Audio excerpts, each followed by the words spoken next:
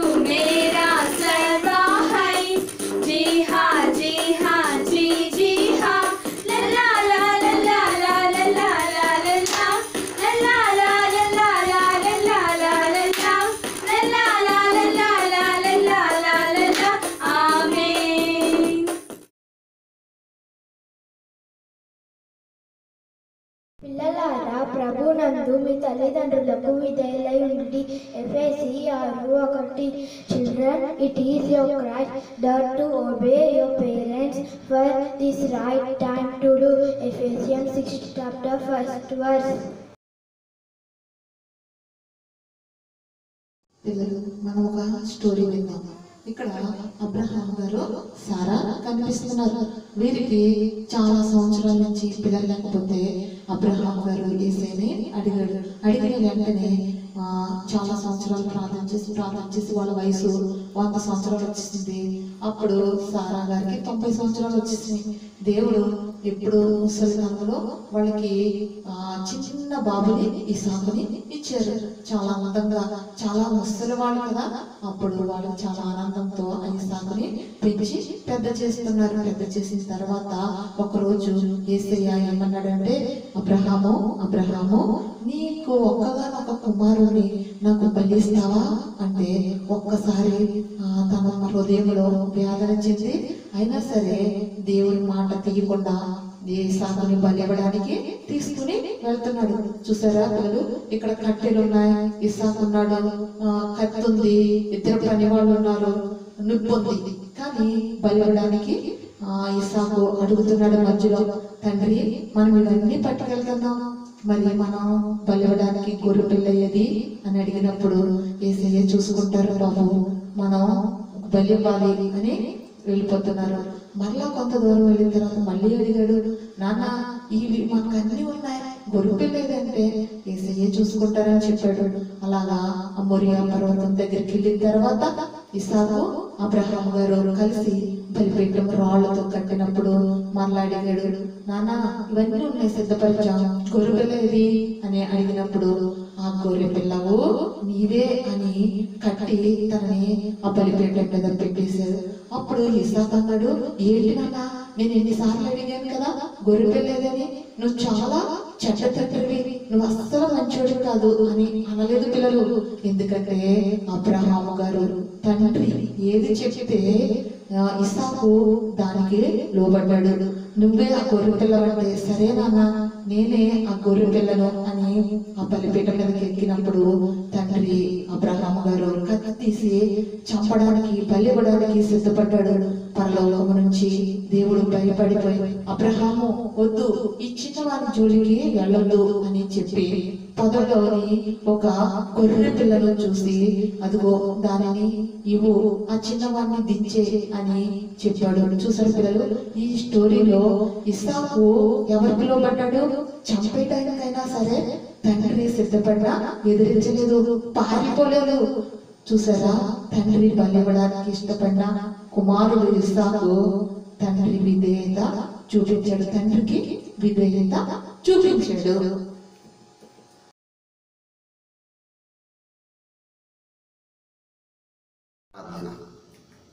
మహాపరిశుద్ధుడ ప్రేమగల తండ్రి కృపగల దేవ వందనాలు. మా దేవ మా రక్షక వందనాలు. చక్కని కథ విన్నారు. అబ్రహాంకి దేవ ఇస్సాకి ఏ విధంగా లోబడ్డాడు? దేవ పిల్లలు దేవ వారి తల్లిదండ్రులకు పెద్దలకు దేవ లోబడి జీవించే భాగ్యం దయచేయమని. మీరే మహిం పొందమని ఏ సునామలు అడిచినాం పరమ తండ్రి. ఆమె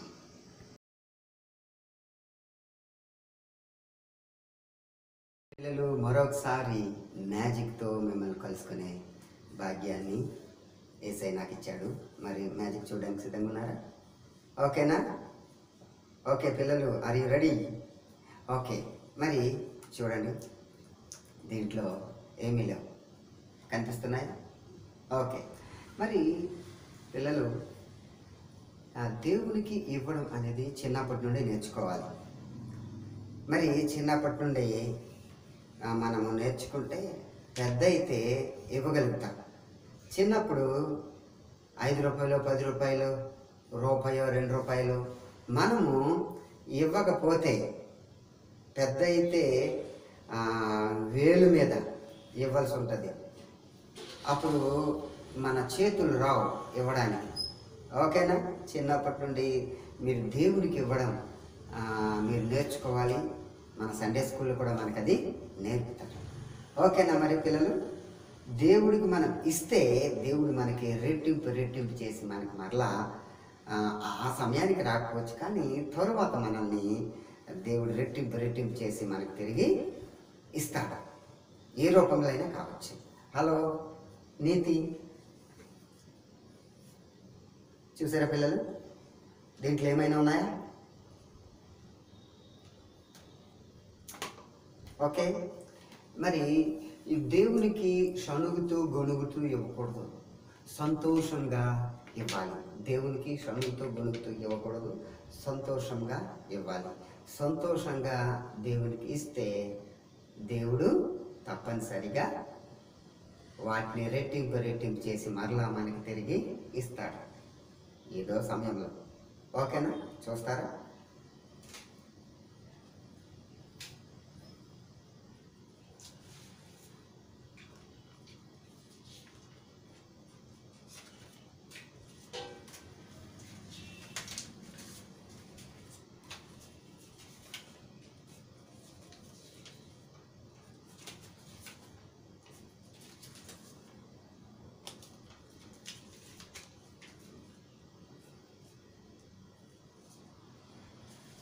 మరి ఏసైకి ఇవ్వడానికి ఏసైకి మీకు ఉన్న దాంట్లో ఇవ్వడానికి మీరు సిద్ధంగా ఉన్నారా?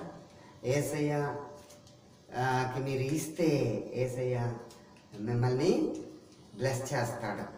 ఓకేనా పిల్లలు? బాయ్.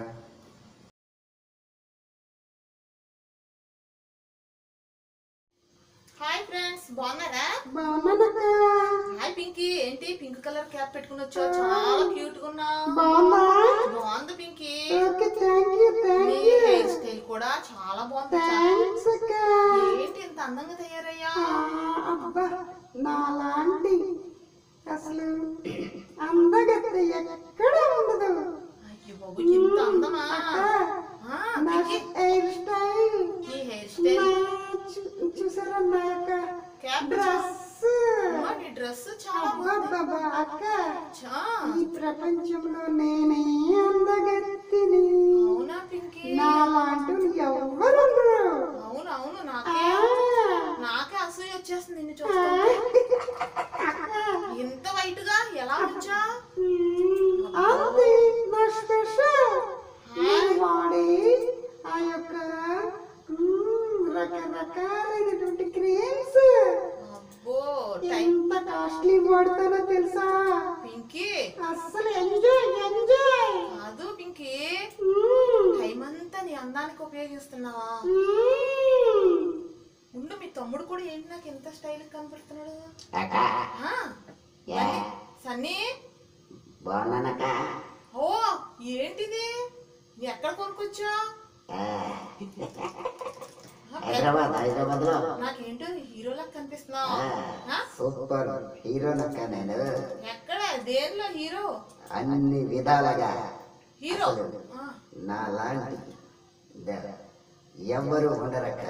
అయ్యో నా. స్టైలే వేరు. మిమ్మల్ని చూసి నాకు ఎప్పుడో చూశాను కదా ఇంత ఇలా మారిపోతారు అనుకోలేదు సన్నీ. మీ- ఫ్రెండ్ ఇంకొకడు వచ్చాడు. బంటి. బంటి. ఏంటి బంటి. నీ హెయిర్ ఏంటి? నీ స్పెట్స్ ఏంటి? అమ్మో.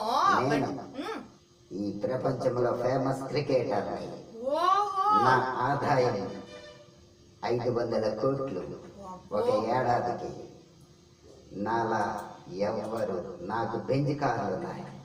అంతేకాకుండా ఈ ప్రపంచంలో అనేక మంది నాకు ఫ్యాన్స్ ఉన్నారు.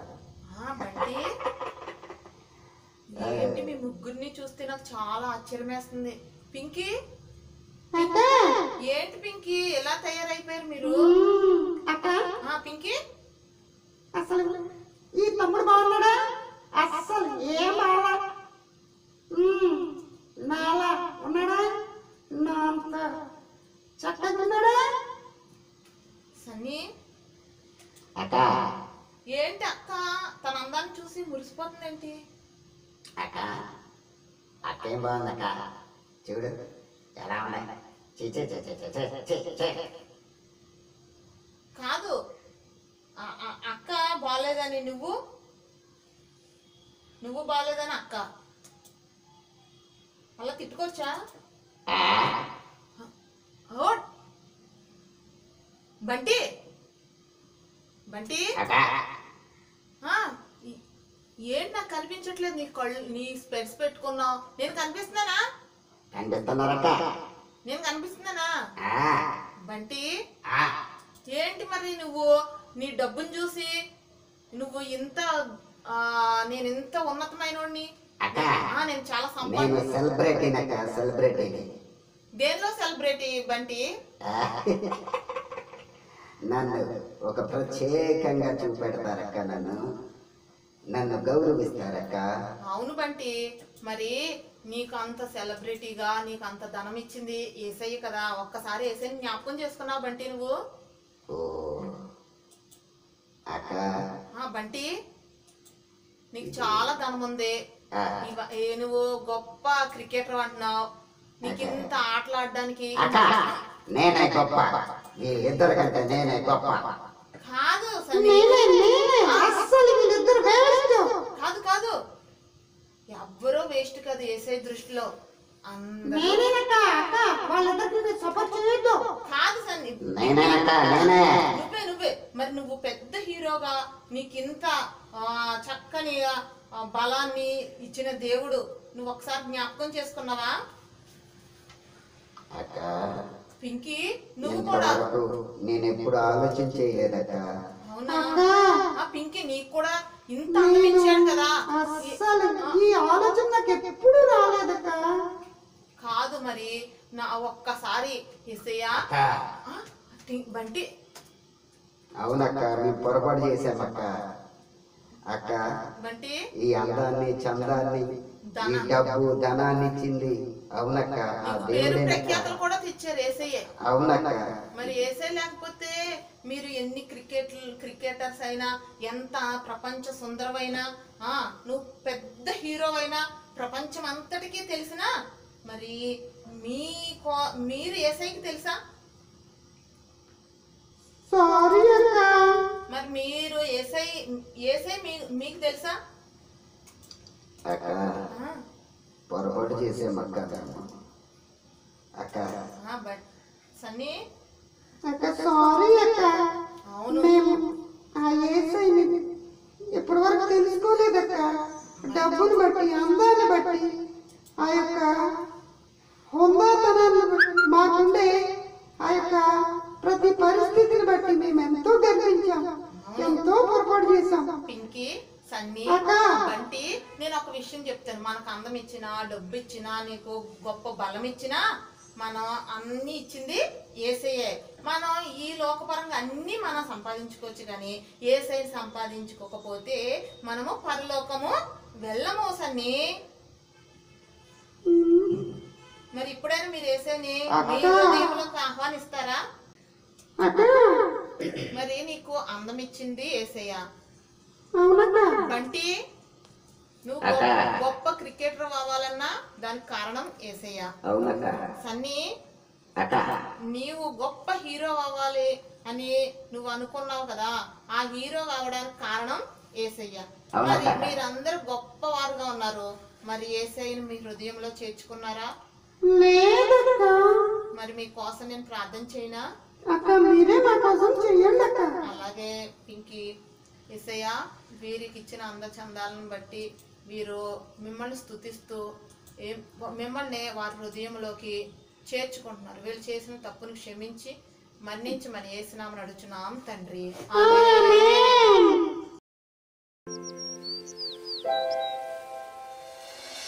Jesus loves me, this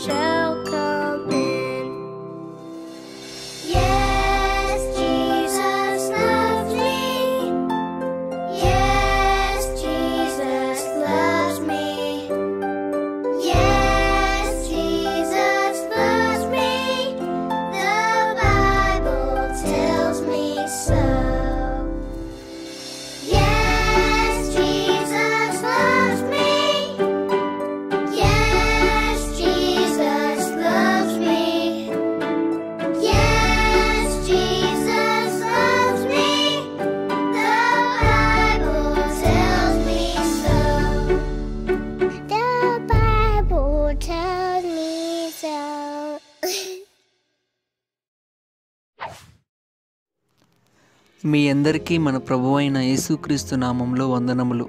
నా పేరు తంపా రామారావు. మాది చీపురుపల్లి గ్రామం మెలియాపుట్టి మండలం శ్రీకాకుళం జిల్లా. నేను తునిలో చదువుకునే రోజుల్లో ఈయూ పరిచర్య ద్వారా యేసుక్రీస్తుని తెలుసుకుని రక్షింపబడ్డాను. పంతొమ్మిది వందల తొంభై ఎనిమిదో సంవత్సరంలో చిన్నపిల్లల మధ్య పరిచర్య దర్శనాన్ని నాకు దేవుని వాక్యం చదువుతున్నప్పుడు మార్కు పది పద్నాలుగు వాక్య ప్రకారం చిన్న బిడ్డలను నా ఎద్దుకు రానియుడి వారిని నాటంకపరచవద్దు. దేవుని రాజ్యము ఇలాంటి వారిదే. ఈ వాక్య ప్రకారం దేవుడు నన్ను ఈ చిన్నపిల్లల మధ్య పరిచయం చేయడానికి ఎంతగానో పిలిచాడు. ఒక వ్యక్తి ప్రయోజకుడు కావాలంటే బాలుడుగా ఉన్నప్పుడే తనకి ఏది నేర్పుతామో అదే నేర్చుకుంటాడు. తన జీవితంలో దాన్ని అనుసరిస్తాడు. చిన్నపిల్లలకు దేవుని వాక్యం అందించాల్సిన అవసరం ఎంతో ఉంది. ఈ రోజుల్లో చిన్నపిల్లలు యేసుప్రభు కోసం పట్టబడితే ఆ పిల్లలు సంఘానికి సమాజానికి ఉపయోగపడే వ్యక్తులుగా తీర్చిదిద్దబడతారు. దేవుడు చిన్నపిల్లల మధ్య పరిచర్య చేయాలనే భారాన్ని నాకు ఇచ్చాడు ఈ పరిచర్య చిన్నగా ప్రారంభించి ఆంధ్రప్రదేశ్ తెలంగాణ ఇతర రాష్ట్రాల్లో విస్తరించి అనేక వేల మంది చిన్నపిల్లలను దేవుని దగ్గరకు నడిపిస్తున్నాము. పరిచర్య ఉద్దేశము. దేవుని గూర్చి తెలియని పిల్లలను ప్రభు దగ్గరకు నడిపించడం దేవుని గూర్చి అనుభవం ఉన్న చిన్నపిల్లల మధ్య క్యాంప్స్ రిట్రీట్స్ నిర్వహించి వారిని ఆయా సంఘాలలో సండే స్కూల్కి అనుసంధానం చేయడం చిన్నపిల్లల ఆధ్యాత్మిక ఎదుగుదలకై పనిచేయుట మరియు వారికి కావాల్సిన సండే స్కూల్ మెటీరియల్స్ అందుబాటులో ఉంచుట సండే స్కూల్కు అవసరమైన ఉపాధ్యాయులను తయారు చేయుట మినిస్ట్రీ కార్యక్రమాలు. చిన్నపిల్లలను ఆధ్యాత్మికంగా ఎదుగుదల కోసం మేము నిర్వహిస్తున్న కార్యక్రమాలు one day retreats two days three days four days five days seven days camps VBS CBC CBS CGC children rallies village and tribal outreach Sunday school teachers training programme workshops bimonthly magazine నడిపిస్తున్నాము.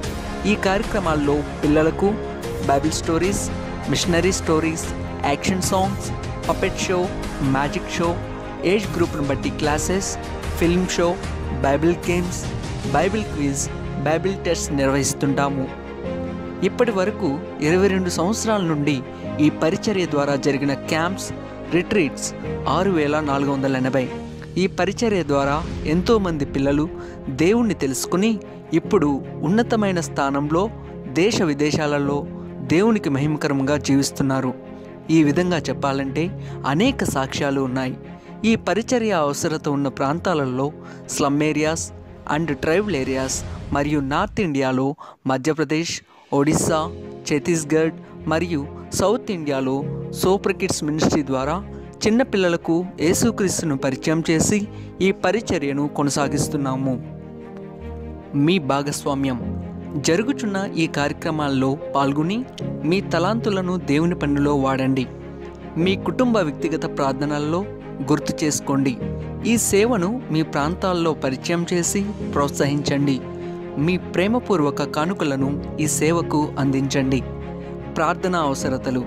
రెండు నెలలకు ఒక్కసారి ముద్రింపబడుతున్న super kids పత్రిక కొరకు ministry material ముద్రణ కొరకు ప్రస్తుతం ఉన్న machinery పోషణ కొరకు మన ముందు విస్తారమైన చిన్నపిల్లల పరిచర్య ఉంది. ఒకే మిషనరీతో కొనసాగుతున్న ఈ పరిచర్యలో ఉత్తరాంధ్ర విశాఖ విజయనగరం శ్రీకాకుళం జిల్లాలలో పనిచేయుటకు ఒక మిషనరీ రాయలసీమ నెల్లూరు ప్రకాశం జిల్లాల్లో పనిచేయుటకు ఒక మిషనరీ అవసరత ఉంది. అవసరం ఉన్న ప్రాంతాల్లో సూపర్ కిడ్స్ ద్వారా జరుగుతున్న రిట్రీట్స్ క్యాంప్స్ యొక్క ఆర్థిక అవసరత కొరకు ప్రార్థించండి. ఈ పరిచర్యలో ముందుకు కొనసాగడానికి మీ ప్రార్థన సహకారం మాకు ఎంతో అవసరం. మీ అందరికీ మా వందనములు.